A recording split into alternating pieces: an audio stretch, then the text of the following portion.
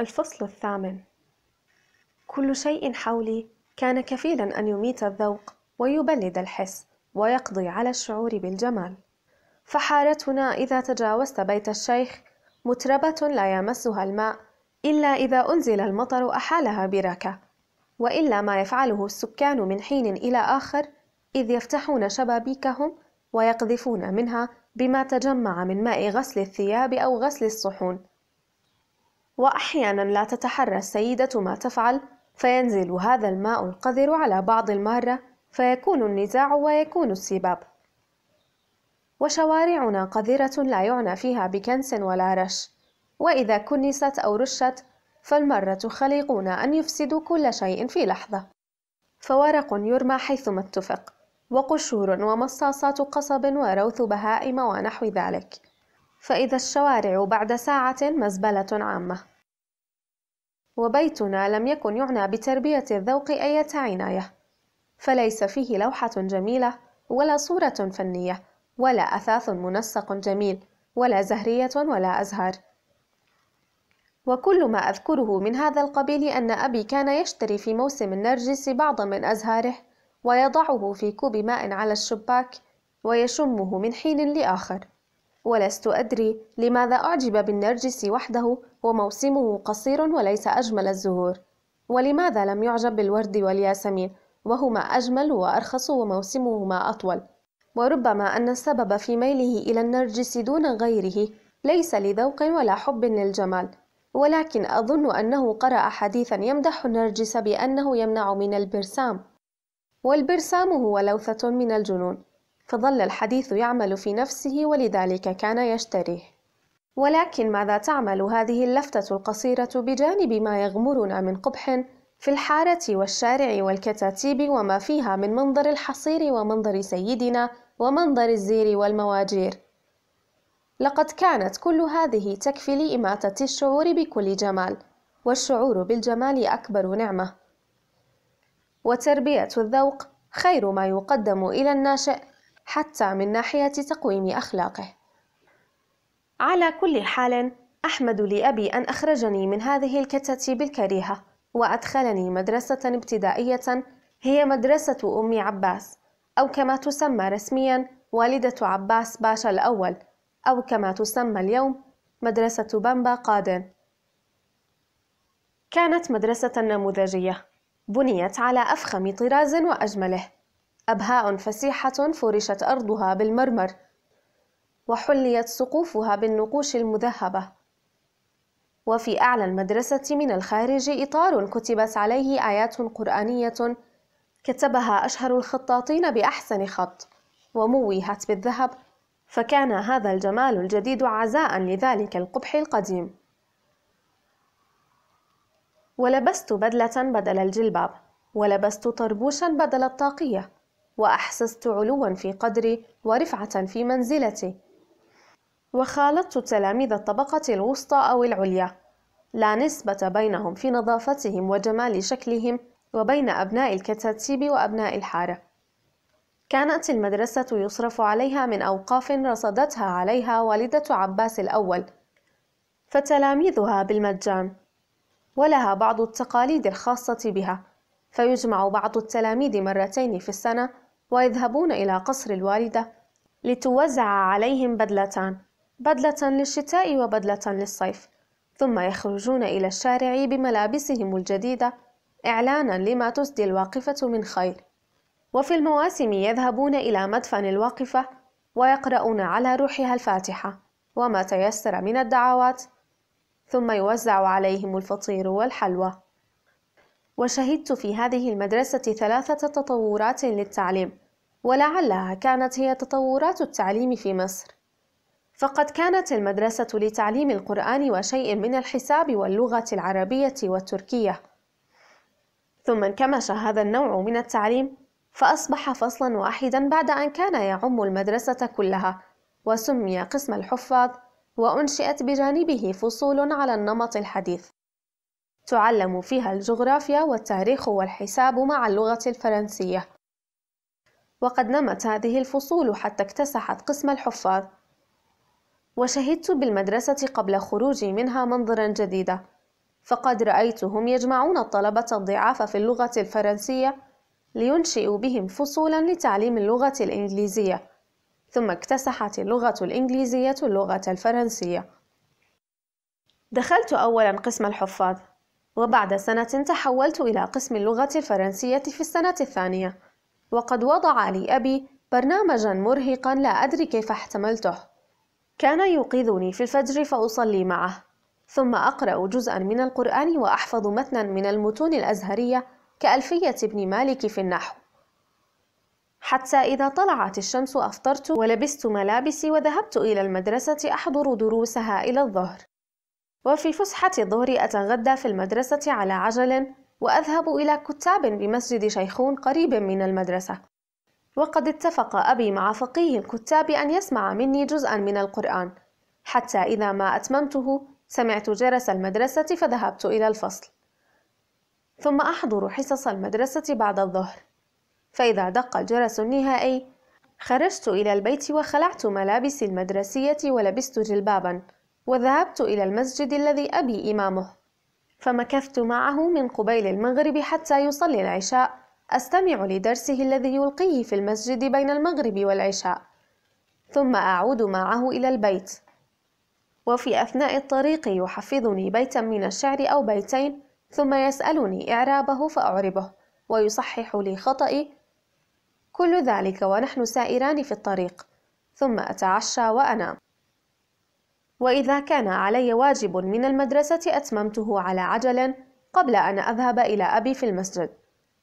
وليس لي من الراحة إلا عصر يوم الخميس ويوم الجمعة. على أني كثيرا ما أحرم أيضا من صبح يوم الجمعة لعمل واجب المدرسي أو القراءة مع أبي. وهو برنامج غريب متناقض الاتجاه. سببه أن أبي كان حائرا في مستقبلي. أيوجهني إلى الجهة الدينية فيعدني للأزهر أو يوجهني الوجهة المدنية فيعلمني في المدرسة الابتدائية والثانوية. وكنت أدرك حيرته من كثرة استشارته لمن يتوسم فيه حسن الرأي وهم لا ينقذونه من حيرته. فمنهم من يشير بهذا ومنهم من يشير بذاك.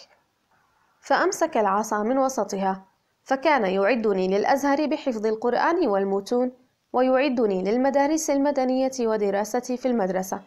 وهذا أسوأ حل ولكن جزاه الله خيرا على تعبه المضني في التفكير في مستقبلي وغفر الله له ما أرهقني به في دراستي. كان هذا الضغط الشديد مثارا لثورتي أحيانا فربما كنت أهرب من فقيه المكتب ظهرا أو من الذهاب إلى أبي عصرا أو أدعي المرض وليس بي مرض ولكن إذا اكتشف هذا كان جزاؤه الضرب الشديد فتخمد ثورتي. ولقد جربت أمي حظها فكانت تتدخل في الأمر حين يضربني ولكنها رأت أنها إن تدخلت حين هذا الغضب الشديد والضرب الشديد فقد يتحولان إليها. فكان إذا حدث هذا فيما بعد اكتفت بالصراخ والعويل من بعيد. استمررت في هذه المدرسة وكنت متفوقا في اللغة العربية بفضل ما أخذه من الدروس على والدي. وفوق المتوسط في الحساب وضعيفا في اللغة الفرنسية لأن أبي لم يترك لي الزمن الكافي لمذاكرتها.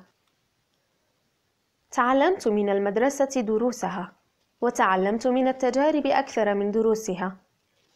فلعبي مع التلاميذ ومبادلتي إياهم العواطف ورؤيتي إياهم يتصرفون في الأمور تصرفا مختلفا حسب مزاجهم وعقليتهم يغضبون أو يحلمون.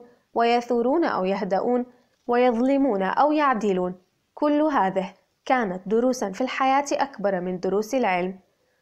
بل المدرسون أنفسهم كانوا معرضا لطيفا فيه الجمال والقبح والرعونة والسكينة.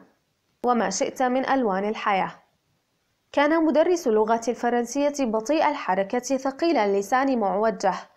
جاحظ العينين أحمرهما من أثر الحمار لا يكترث لدرسه. ولا لتلاميذه سواء عنده ذاكروا أم لم يذاكروا تقدموا أو لم يتقدموا. ومدرس الحساب كفء في مادته مهتم بطلبته يبذل أقصى جهده في درسه ولكنه غريب الأطوار. يهيج أحيانا ويشتد غضبه فيضرب وقد يشتد ضربه فيكسر أو يجرح. ويكون في منتهى اللطف والظرف أحيانا. فيستغرق في الضحك لأتفه سبب. وقد يحدثنا عن دخائل بيته وأسرار نفسه مما لم تجر العادة بذكره. ومدرس اللغة العربية من الصنف الذي نسميه ابن بلد. يحول كل شيء إلى نكتة ونكتة رائعة جميلة مؤدبة لا يؤذي ولا يضرب ولكنه ينتقم أحيانا من التلميذ بالسخرية والنكتة اللاذعة.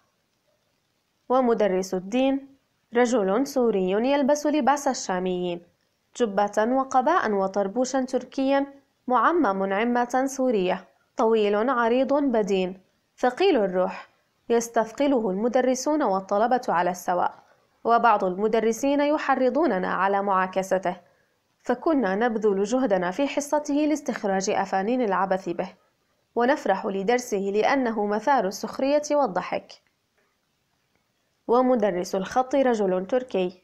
جميل الوجه بهيج الطلعة له لحية بيضاء تستخرج من ناظرها الإكبار والإجلال. يلبس اللباس التركي الشرقي ويتكلم العربية بلهجة تركية. هادئ الطبع بطيء الحركة خافت الصوت لا يضرب ولا يؤذي ولا يسب. وهو مع ذلك محترم لا تسمع في حصته صوتا. وناظر المدرسة رجل طيب ولكنه لا يفقه شيئا من أساليب التربية. ضبط مرة تلميذا يسرق كراسا فأخذه وعلق في رقبته لوحة من الورق المقوى. كتب عليها بخط الثلث الكبير هذا لص. حتى إذا وقف الطلبة في طابور العصر أمسكه الناظر بيده ومر به على التلاميذ ليؤدبه. والحق أنه لم يؤدبه ولكنه قتله. فلم أرى هذا التلميذ يعود إلى المدرسة بعد وأغلب الظن أنه انقطع عن المدارس بتاتا وهكذا كانت المدرسة بتلاميذها ومدرسيها وناظرها تمثل رواية مملوءة بالحياة والحركة والمناظر تكون أحيانا مأساة وأحيانا ملهى. كنت في هذه السن متدينا شديد التدين وكان بالمدرسة مسجد صغير أعد إعدادا حسنا.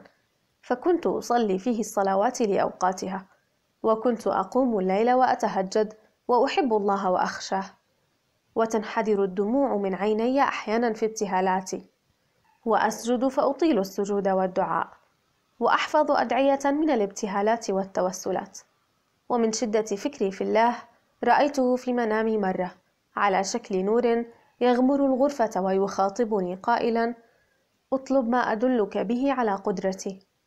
فطلبت أن يعمل من قطعة حديد سكينا ومن قطعة خشب شباكا ففعل فآمنت بقدرته وحكيت المنام لأهلي ففرحوا به فرحا عظيما وزادوا في محبتي. واستمررت في دراستي في المدرسة.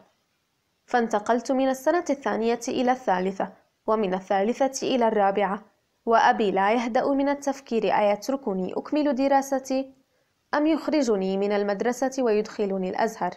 ويسألني فأجيبه. أحب أن أبقى في المدرسة. ويسأل من يعرفه من موظفي الحكومة فيوصونه ببقائي في المدرسة. ويسأل من يعرفه من مشايخ الأزهر فيوصونه بإدخال الأزهر. ويتردد ويتردد ثم يستخير الله ويخرجني من المدرسة إلى الأزهر. الفصل التاسع. ها أنا في سن الرابعة عشرة تقريبا.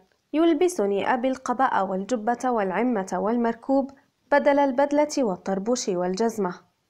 ويكون منظري غريبا على من رآني في الحارة أو الشارع. فقد عهدوا أن العمامة لا يلبسها إلا الشاب الكبير أو الشيخ الوقور. أما الصغير مثلي فإنما يلبس طربوشا أو طاقية. ولذلك كانوا كثيرا ما يتضاحكون علي. فأحس ضيقا أو خجلا أو أتلمس الحارات الخالية من الناس لأمر بها.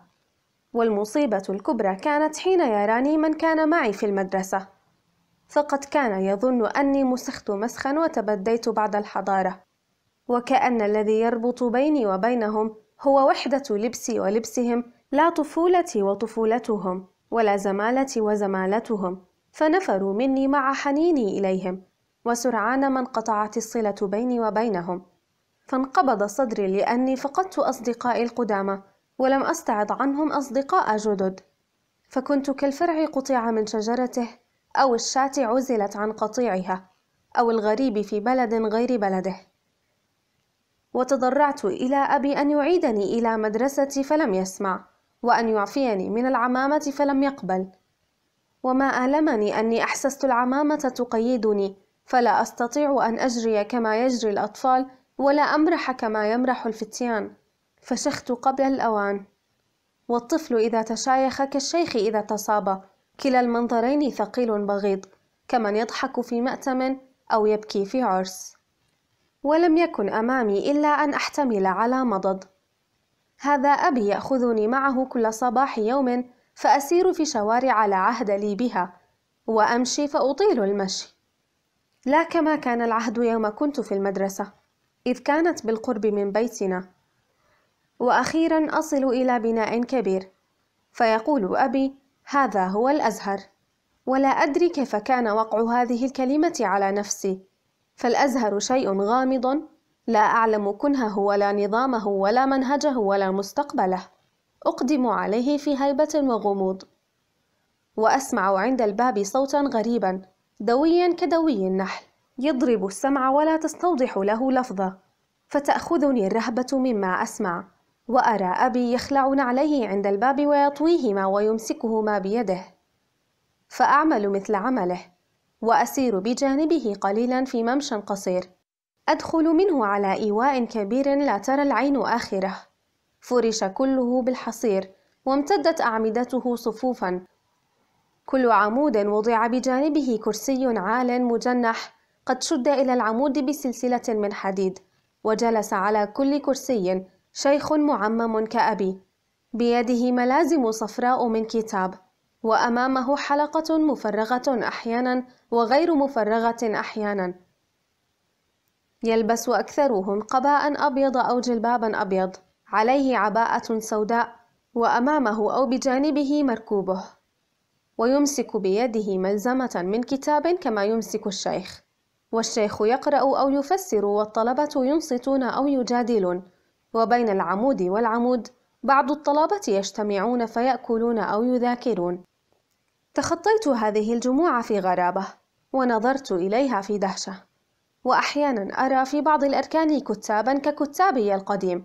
فأفهم أن الأزهر فأفهم أن الأزهر امتداد للكتاب لا امتداد للمدرسة. ثم نخرج من هذا الإيوان إلى فناء الأزهر أو صحنه فأراه سماويا غير مسقوف ومبلطا غير مفروش. وهنا وهناك فرشت ملاءة بيضاء أو عباءة سوداء صفف عليها خبز ريفي وعرض في الشمس ليجف.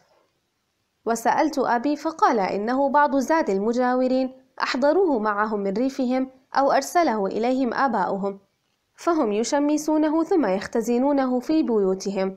هذا هو كل الأزهر كما رأيته أول مرة.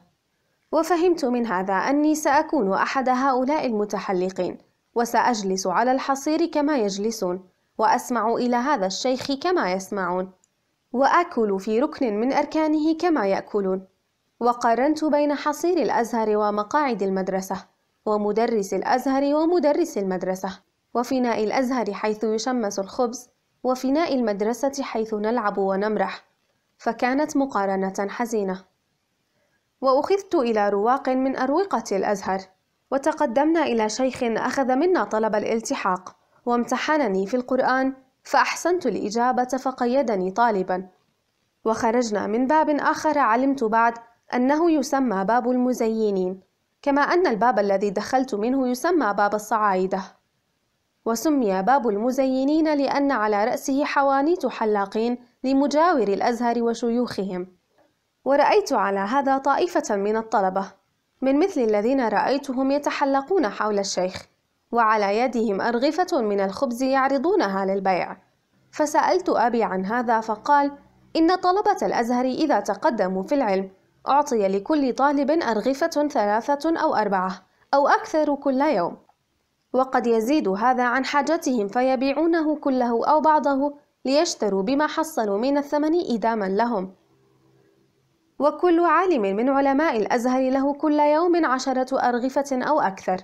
وإذا تقدمت في العلم كان لك مثل هذا. ولكنك لا تبيعه ولا تقف مثل هذا الموقف إن شاء الله. وعدت إلى بيتي والهم يملأ قلبي ولكن الزمن بلسم الهموم. فقد أخذ يقطع صلتي بالمدرسة وبأصدقائي فيها وينسيني ذكرياتي الماضية.